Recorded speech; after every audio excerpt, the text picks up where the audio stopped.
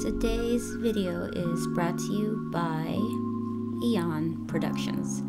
They supply all of my paper and uh, some of my ink and some of the white ink that I use. So, without further ado, let's talk about do supplies really matter? We hear it all the time, you know, like it's not about the gear, it's about how you use it. But let's just face it, gear is a lot of fun, and I myself am a huge gearhead. I mean, I don't know how long you guys have been following my work, but I have been using Copic markers and, and inks and all sorts of stuff for years because I love experimenting. And you know, I'm not the only one. Like a lot of my colleagues love to experiment with art supplies. I think when artists give the advice or when people say gear shouldn't matter, doesn't matter, um, and this is only my take on it because I'm pretty sure there's a dozen episodes or whatever explaining why, you know, it's not about the gear, it's about um, how you use what you have. It's because a lot of times people, um, when they have art supplies and they have, they keep buying them and, you know, really the expensive stuff that maybe we're not ready to use uh, it deter not deters it basically um, we we focus on what we're using and these specific lines we want maybe and uh, how how a certain material is supposed to look. And instead of focusing on maybe the fundamentals like composition uh, light and shadow and um, you know just the basic shapes and just the, the basic fundamentals of really good um, foundations, you know. So this is basically my antidote and and my own story for where I where I was to where I am and my relationship to all the supplies I ended up basically getting. Um, first and foremost, I'd like to say that if getting an art supply is going to make you happy and you know that you're going to draw and create more when you get it, then I say go for it so long as it's in your budget and you don't feel like you're stretching yourself too much to get it and you're not planning on using it, you know, because we all have lives and maybe work that we're um, already doing. So in my instance, I was a web developer for 10 years right after college. So I wasn't really drawing full time. Um, I took whatever time I had to learn how to draw. But, you know, when I first started out, it wasn't really traditional art supplies per se. It was like Photoshop and the Cintiq and Wacom tablets, and Lord knows I've got plenty of Wacom tablets. So I started out mostly digital. Um, of course, I still did like the paper and the pencil, but I didn't do anything fancy. Like I didn't have markers, no watercolors.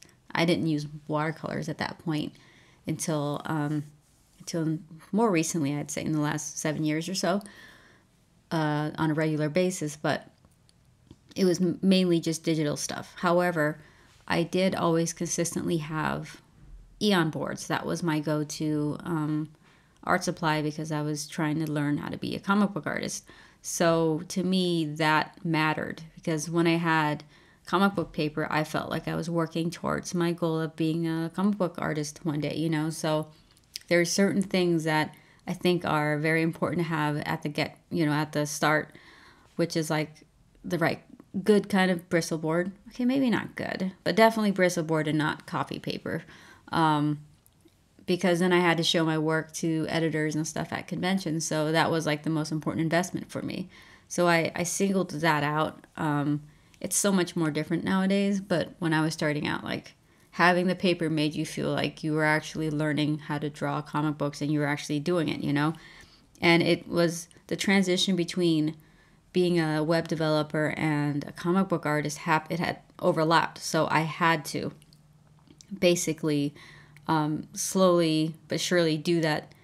And having the paper made me feel like, you know, I was going to do it one day. Um, I don't know how I would have been if it was just copy paper and it was like 11 by 17 copy paper, or maybe even like 8.5 by 11, which is what we all have lying around, anyways. Um, but I took it seriously, so I felt like certain things I needed would make me feel like I was actually doing it. So let's just say uh, the two millimeter pen lead holder. I mean, that's pretty common, right?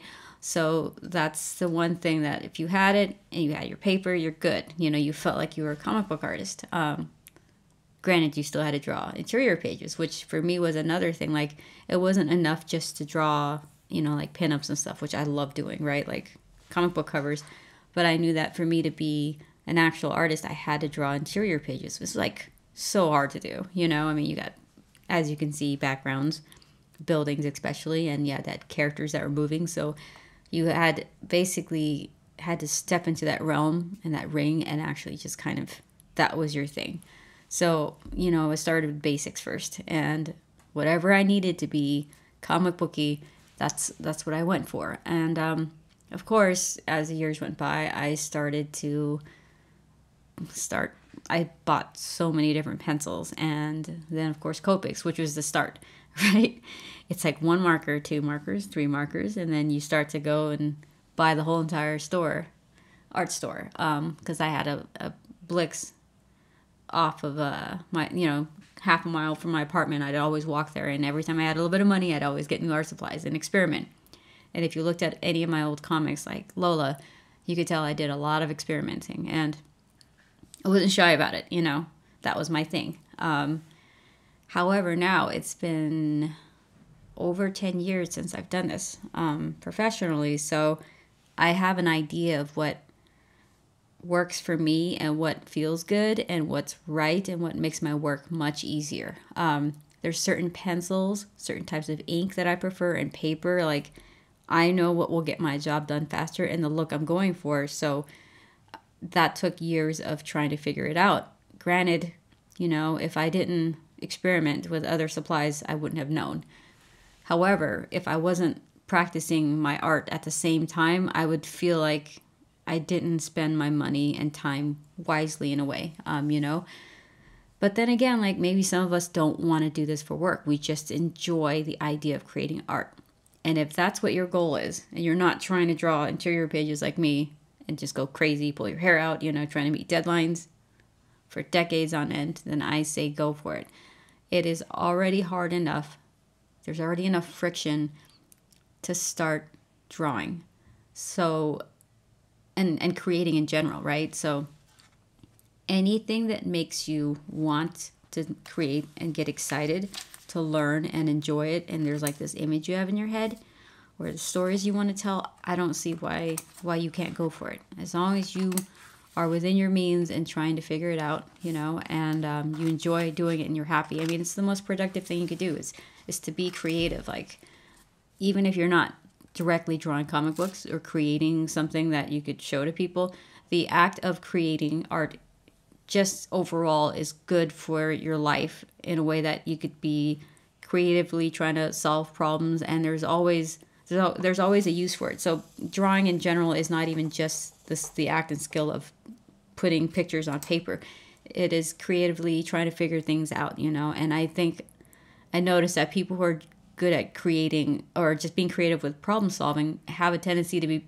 pretty good at art or they could pick it up pretty quickly if they needed to. So it's a good exercise. It works a certain part of your brain and I find it that part of it alone is more important. So if you go into it thinking this will help me in other ways that I'm not aware of, I think that it is worth the time and effort to do it. You know, um, just for fun at the very least. But if you take it too seriously, I think it also shows in the art because then it starts to stiffen up and it's frustrating, right? And then you stiffen up even more because they're so frustrated. And even for someone like me who's done it for decades, if I'm tense, my art looks tense. Like everything is stiffened.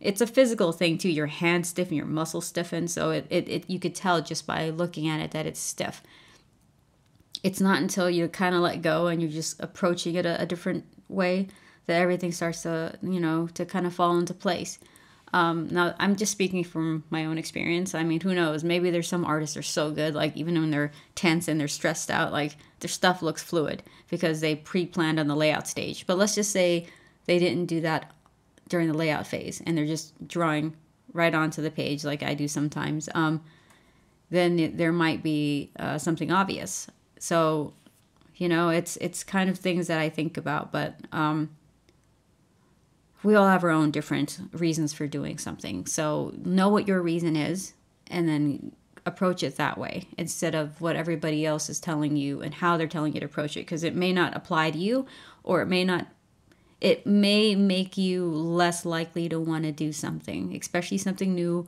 or something as um as you know complex as creating art that you want, you know. Um that's that's the thing with creating art. I think focus on what you want and how you plan on getting there and what you're hoping to achieve. At least think about it first and then go for it. Um, I don't overthink a lot of things when it comes to art.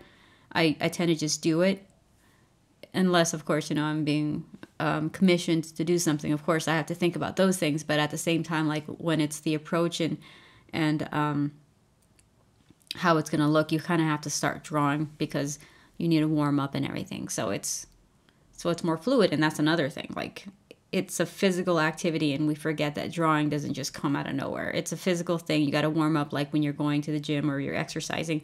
You have to do that, and I know you know you hear that a lot, but and I don't necessarily do it all the time, but at the same time, I know that if I did a few lines on the page and maybe I'll, I'll, I'll erase for like 15 minutes or something, um, it's still going to get me where I need to go. Eventually, I get my work done. I wish I was, I wish it was like magic, but it, I guess it doesn't work that way. Anyhow, so um, I was commissioned to do a piece for Eon for their Comic Con booth. And uh, of course, uh, Neo Wonderland was like the most obvious thing that we were going to do because of the way that the the Neo Wonderland or Shangri La, which is the name of the city. Um, it's not like Tokyo, New York, so there's a lot of neon street signs, and we thought it'd look really cool to have it colored as the backdrop for um, the Comic Con booth, and it was going to be huge. So, I mean, like it was a no brainer. Like we were going to approach it this way and make it really kind of pop out and just put everything we got into it and just all sorts of things like movement and life so that when you walk past the booth at Comic Con, you kind of stop and you see and you feel like you're in this like little city, you know? So that was our concept. And um, I used, you know, the Eon paper and the uh, Eon inks for this just just so you guys kind of see what it looks like when you put it all together, basically. And I also use the white ink as well. Um, yeah, and you know, I've I've been I've used Eon for all my career. Like I said, it was one of the first supplies that I got early on, even when I was um, practicing. I always had Eon board, so I'm kind of attached to them. And you know, Brett is really good at contacting artists, working with them, and making his supplies as good as they come. You know, like the the way the paper feels, how the ink and the markers and the the watercolors work with it. Like he's very thoughtful about how he approaches the materials that he uses and how the comfort and the ease of stuff and how it looks especially and because he's a he's also a designer so um, that kind of stuff matters to him and uh, so everything he's got you know right now is as good as they come for what we do you know um, so it was it was easy to to work on this stuff. It wasn't like I had to like relearn or, or figure out how the ink was going to look on this. I on this page. I, I knew what I was going to get just when I started this piece because I've been working with Eon for 15 years now at least. So yeah, that these guys are awesome. Brett is awesome. So um, I decided to color this one digitally, not only for speed because I was uh, doing multiple things that time, but also because the look and the feel of the book is, I think it's appropriate because it's uh, cyberpunk. So of course, I think digital colors makes more sense than traditional watercolors and inks. And not to mention, um, when I worked on Lola and I was doing markers and you know watercolors, that was time consuming for the schedule and it was expensive. It looked really cool, but I started getting headaches, you know, because I was using markers so much um, that I had to switch to India inks, which I actually like how that looks more because you could move it around more. And you know, that's another thing. Like I had to try to get really good at using India ink so that the blend would be smooth and there wouldn't be any abrupt edges that I wasn't planning on, like the skin and stuff. So, you know, I had to get really good at that. And, you know, you, of course, you add a layer of water and then you then you add the ink, which I think I'll do another piece pretty soon here, um, so you guys can see what I mean. So um, yeah, I, I used a Clip Studio Paint for this. I used to use Photoshop, but I actually prefer the tools and the layout for um, for digital colors on Clip Studio. I feel like it's more friendly to digital colors, and they had really cool filters. You know, like the glow effects that they have here. That's that's what I'm using right now that works really well for neon backgrounds and it just speeds up my process so I don't have to focus on like making things look cool. I just have to focus on the colors, compositions, and things like that, you know. Um, so I used that. Uh, I think, I'm pretty sure that this is how I'm gonna do the book, just the whole entire book, which is in production right now. So I'm really excited for that. Uh, so yeah, this this was a fun piece to do. It's a double page spread, and I got to kind of flex my my style for this book, so that was really cool. And um, special thanks to Eon Productions, of course, as always, for always being supportive of my work and for collaborating with me on this piece. Thank you guys so much for your time, and I will see you guys around.